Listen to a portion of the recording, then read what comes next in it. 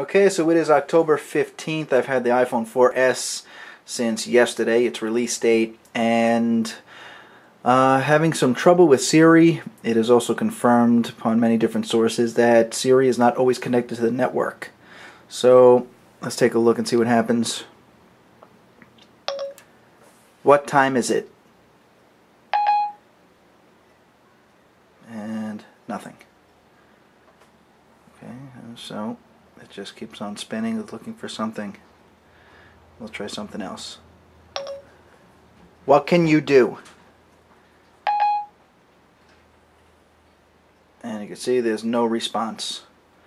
So not too sure what's happening. Every once in a while she will say that there is a problem and she is not connected to the network. It's not doing that now. I can't get any sort of response right now. So that's not good. Even if I even if I unlock, still the same thing.